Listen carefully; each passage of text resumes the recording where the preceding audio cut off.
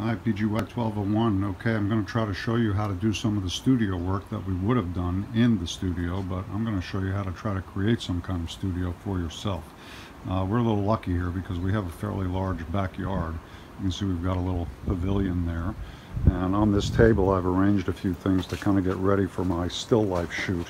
Uh, gathered some photographable objects. You can see my little red ice cube tray, some different plastic glasses. Normally we would use styrofoam cups, but it's too windy, they'll blow over. And notice that this one is matte, and then the purple ones are more glossy. Try to get matte if you can, they reflect light a little easier. Uh, I've got a couple of generic solid color objects here, two watering cans, I got an old one and a colored one. Uh, notice my African cloth, that might make for an interesting background, either in focus or out of focus. And then over here I just gathered some old rusty tools, uh, some kitchen utensils, and we had oysters the other night, so I spray painted three oysters, one green, one red, one blue. I don't know if I'm going to do anything with those or not. What I don't want you to shoot is stuff like this. Uh, that's a product shot, and forget about all your little sculptures and statues and things like that. Don't photograph any old candles. Um, try to pick fairly generic objects that have strong elements of design, like these tools or these cups. Got a turquoise background, about 20 by 24 piece of uh, uh, mat board, and another one blue, even a little bigger than that. Over here, uh, in the shade, I'm creating a kind of a quote-unquote window light studio. And basically, you can see there's the light. It's coming in this way. So if you look at an object there, it will have a shadow and a highlight side.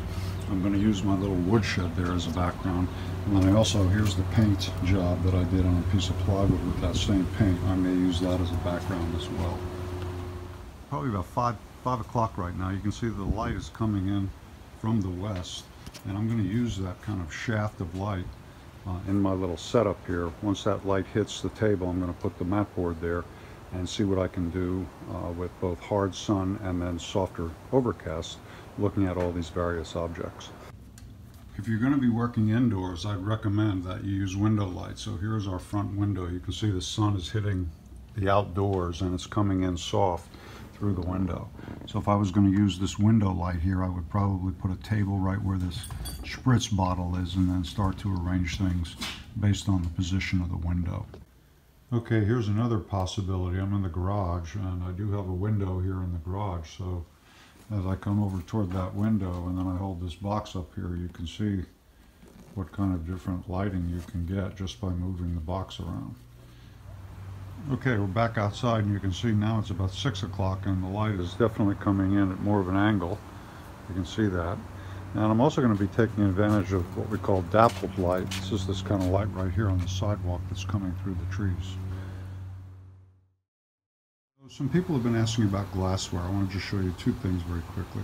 Uh, this is glass lit directly by a specular light, in this case the sun.